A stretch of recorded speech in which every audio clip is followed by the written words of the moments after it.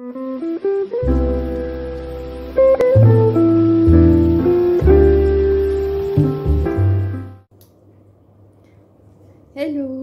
bonjour à tous.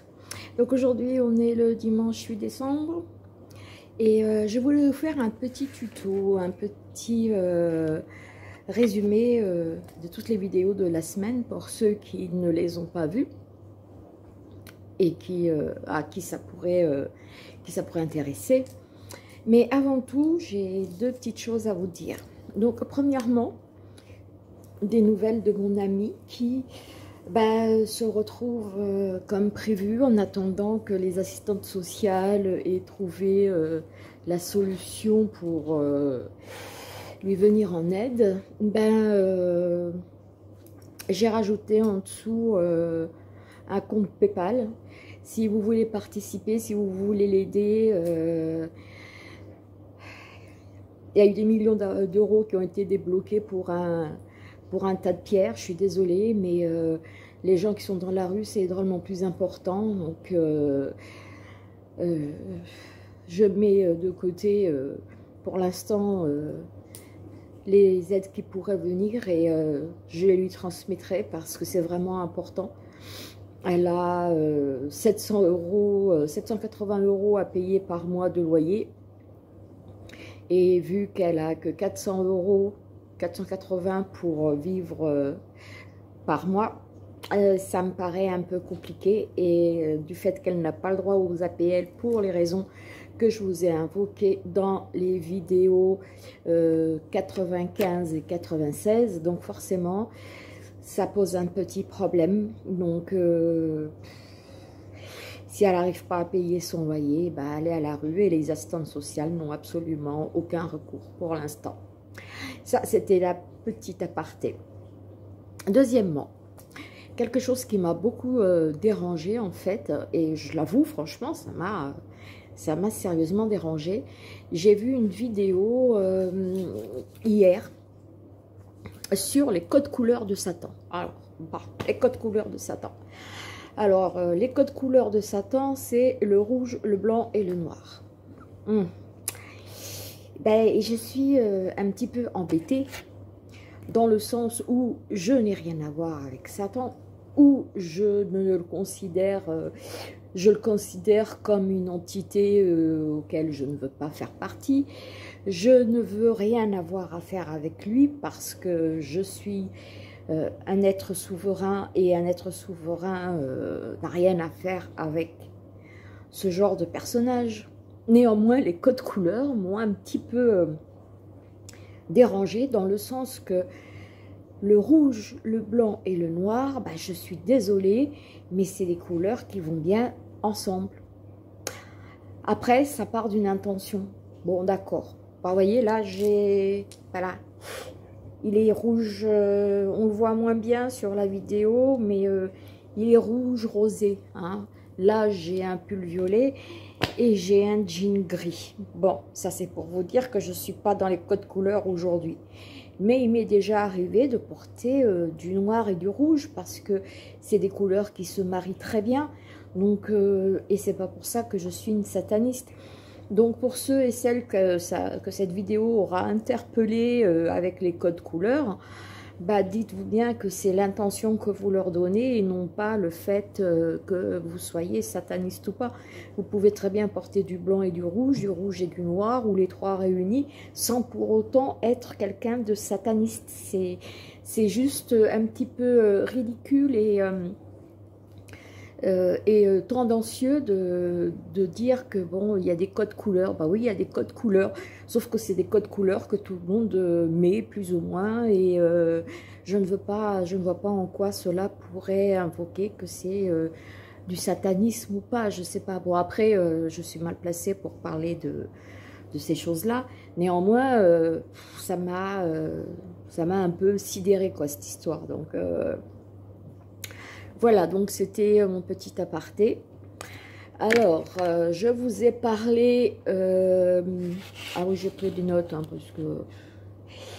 Je vous ai parlé à vidéo 95 donc sur mon ami concernant les SDF. Pareil pour la 96, ça a été un, rappel, de, enfin un complément d'information.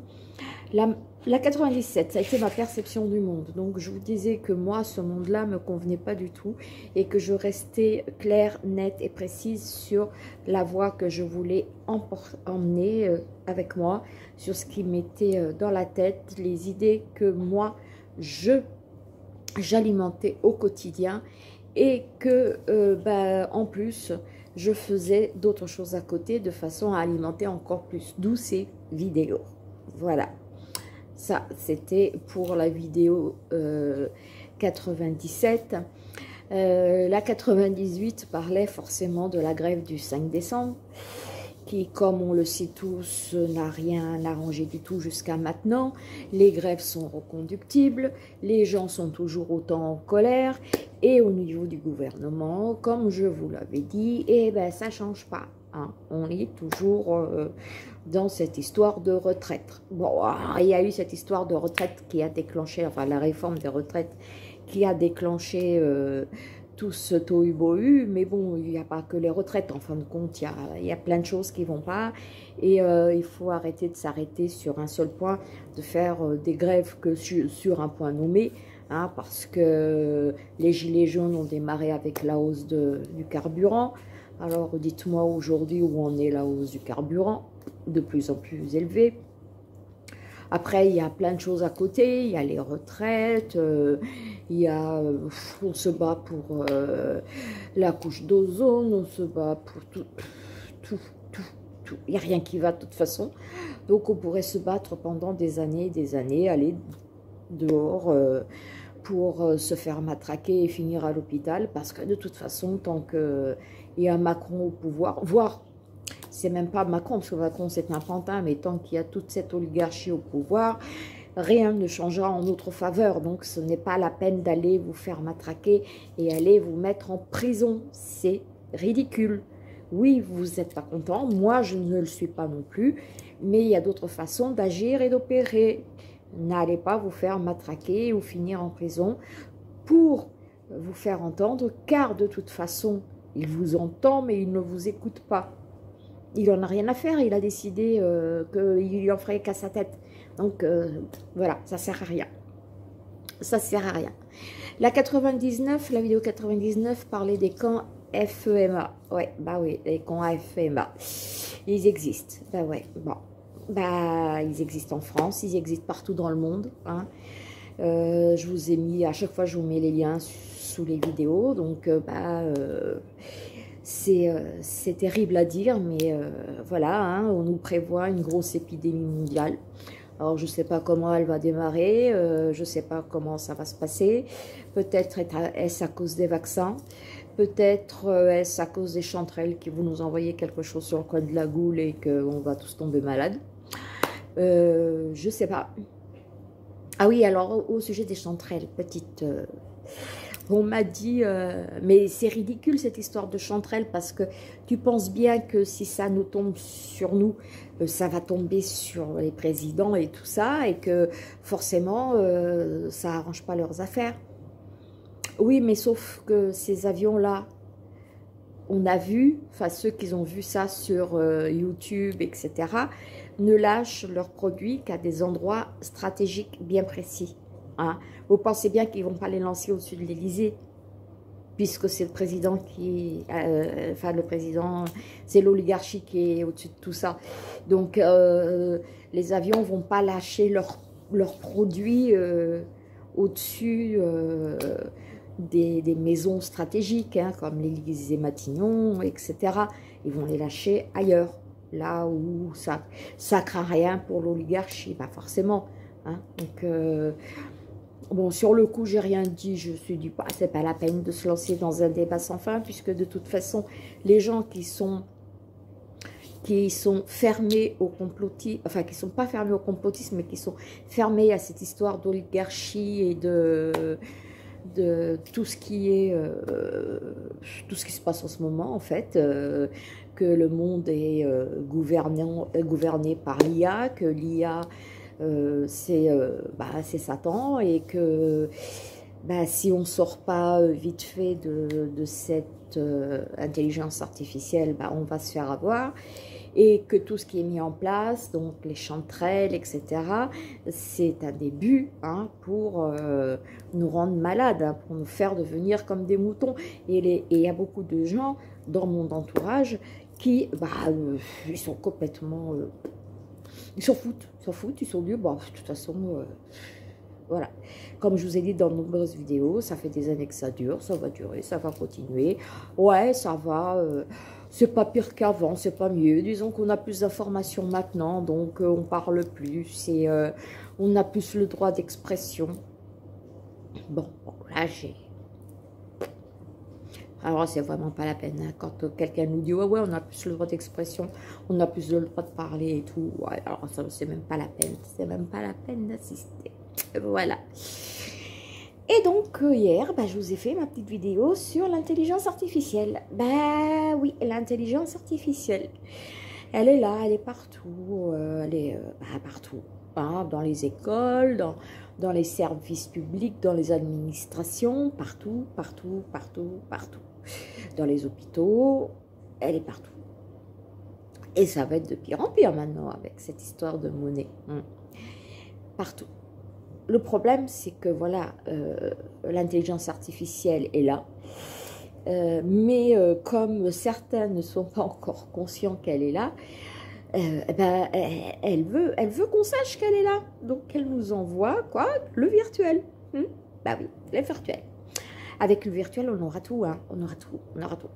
On aura l'argent, on aura à manger, on aura des amis. D'ailleurs, ça existe déjà avec Facebook, hein, les amis virtuels qu'on connaît depuis très longtemps mais qu'on n'a jamais vu, qu'on a tendance à apprécier mais sans vraiment les connaître, mais ils sont là.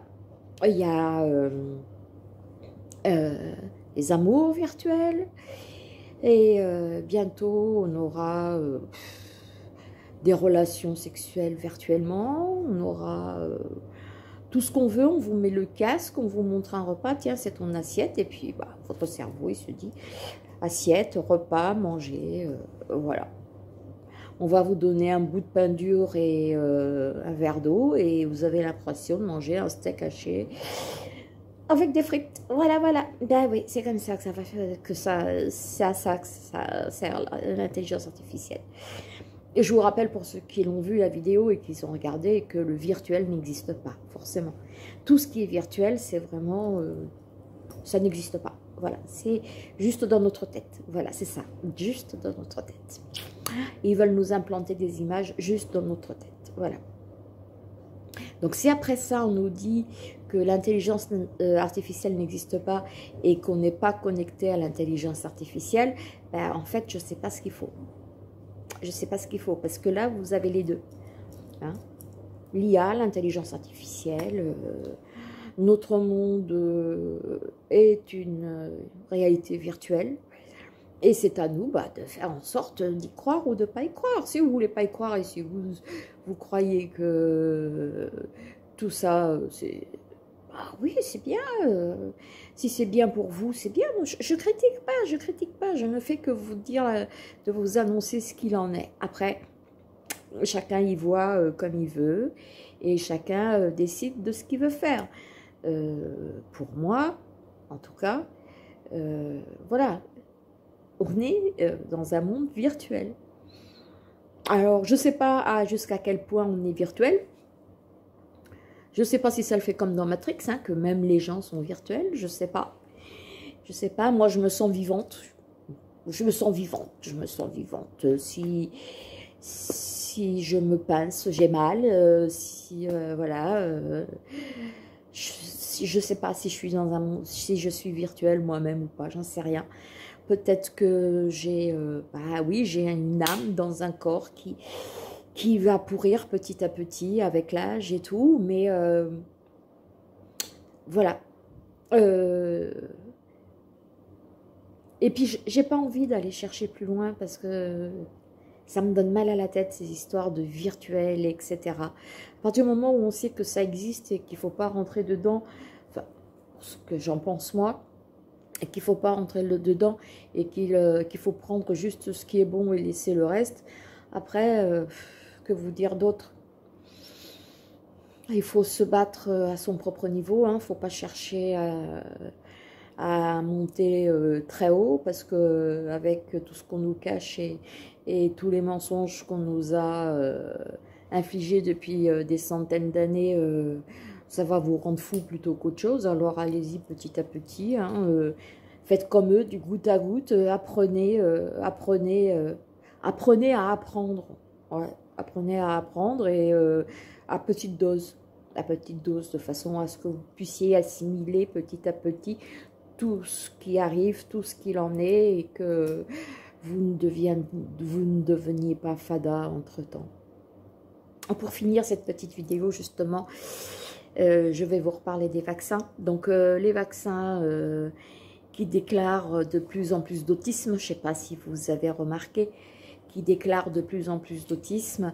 Et il semblerait, alors là, je m'en réfère à Rock Soccer, il semblerait que les enfants autistes aient un rapport spécial avec l'intelligence artificielle. Je sais pas, faut voir ces vidéos, faut aller voir, euh, peut-être que lui a des informations, et euh, il en a, puisque c'est là que j'ai été pêcher celle-là. Voilà, donc euh, il semblerait, hein, d'après des études qui ont été faites, que les enfants autistes aient des rapports spéciaux avec l'intelligence artificielle. D'où le fait des 11 vaccins pour qu'il y ait de plus en plus d'enfants autistes, donc d'enfants qui travaillent pour l'intelligence artificielle. Ah, c'est pas cool, hein C'est pas cool. Mais c'est vrai. Voilà. Donc, encore une preuve de l'intelligence artificielle. Et euh, j'aime à croire, euh, Rock je le suis que depuis peut-être euh, quelques semaines, deux, trois semaines mais franchement, ce qu'il dit, certaines choses, hein, je, n'adhère pas à tout, je n'adhère pas à tout, mais il y a certaines choses euh, qui sont très, très, très vraies, très réalistes, et qui vraiment, vraiment nous ouvrent euh, une autre vision de la vie. Oui, une autre vision de ce qu'on vit. Et quand on nous dit qu'on est dans un monde virtuel et dans un monde où le temps n'existe pas, euh, rien n'existe en fait, et que parfois, euh, bah, euh, ce monde virtuel dans lequel on vit, bah, il a des bugs. Bah oui, il a des bugs. Bah oui, je m'en suis rendu compte. Genre le bug du, du déjà vu, le bug, je ne sais pas si ça vous est déjà arrivé, mais le bug où quand vous faites un trajet, des fois, il vous semble beaucoup plus court que l'autre. Vous faites exactement le même trajet et des fois, euh, ce trajet-là vous semble plus court. Pourquoi? Bug. Bug dans, dans ce qui se passe, bug dans la matrice artificielle.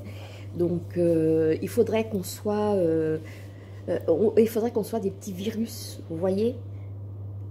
Des virus contre l'IA. On serait il, faut, il faudrait être des virus contre l'IA. Ouais, euh, essayer de faire des bugs de plus en plus souvent de façon à pouvoir, euh, à pouvoir la mettre à mal et puis à pouvoir voir la vérité de plus en plus. Oui, euh, certains lanceurs d'alerte comme Rock Soccer sont effectivement des virus. Ouais, ils sont des virus parce que ils pointent le doigt là où ça où ça va pas, là où ça dérange. Et moi j'aime bien ce genre de virus. Ouais, la résistance c'est bien moi j'adhère complètement. Complètement. Bon voilà, c'était le petit tuto, c'était le petit euh, résumé de la semaine. Euh, ce que je veux vous dire, c'est que euh, en bas, donc aujourd'hui, bah, il n'y aura rien à dérouler, hein, puisque, enfin, pas d'informations, hein, puisque vous les avez déjà, il n'y a qu'à regarder les vidéos que je vous ai citées, les vidéos précédentes. Donc, pas de pas d'informations particulières, sauf que euh, pour euh, l'aide que je vous avais demandé pour euh, Tipeee, en fait, j'ai rajouté Paypal. j'ai rajouté Paypal qui est raccordé à ma chaîne, justement. Et si, c'est pas pour moi que vous demande, que je vous demande, mais pensez, pensez à cette femme qui, qui va se retrouver à la rue, pensez à cette femme qui a vraiment de gros soucis, pensez que ça peut vous arriver à vous aussi, et même une participation de 50, 50 centimes, 1 euro, ça serait déjà ça serait déjà une bonne chose. Moi, de mon côté, je vous apporterai, euh, si vous si vous apportez votre contribution, moi, je vous apporterai la preuve comme quoi je lui ai bien fait transférer l'argent qui lui revient de droit de votre part. Et euh, voilà, euh, donc c'est un appel que je lance aux gens aux gens qui ont du cœur, aux gens qui ont la possibilité. Le problème, je sais et je suis consciente, c'est qu'en général, c'est ceux qui ont moins les moyens qui, euh, qui donnent en général, qui sont prêts à donner le peu qu'ils ont pour euh, aider. Euh, moi, je vous assure, je ne fais pas partie d'une association, je fais pas partie d'une, je fais partie de rien du tout. Si l'argent lui est destiné, vous me le dites et je lui en fais part, il n'y a aucun souci. Euh, je n'ai jamais été voleuse, j'ai trop peur, euh, j'ai toujours eu trop peur du vol. Donc ce n'est pas maintenant que je vais commencer, d'autant plus que c'est pas mon but. C'est pas mon but. Mon but n'est pas de voler la population, le but n'est pas de voler euh, mes frères et sœurs, mes amis, tout ce que j'aime, c'est pas mon but. Mon but, c'est juste de demander une aide à cette amie dont je vous ai parlé et euh, bah, qui va se retrouver à la rue si, euh, si elle n'arrive pas à payer ses loyers, chose qu'elle ne peut pas. Vous pensez bien que entre, euh, si, si, elle donne tout ce qu'elle reçoit pour payer son loyer, il lui manquera encore 300 euros et elle ne pourra pas vivre dans le mois. Voilà. Donc, elle a encore droit au resto du cœur. C'est encore une chance, hein, droit au resto du cœur. Mais pas de toit sur la tête. Voilà. Donc, il va falloir trouver une solution très vite. En attendant, moi, je vous propose celle-là. Si vous en avez d'autres, euh, n'hésitez pas à me les faire partager sous la vidéo. Et puis, bah, partagez cette vidéo, euh, abonnez-vous. Et euh, en attendant prochaine vidéo, bah, je vous souhaite à tous une bonne journée de dimanche. prenez soin de vous et portez-vous bien. Jusqu'à la prochaine fois. Bye.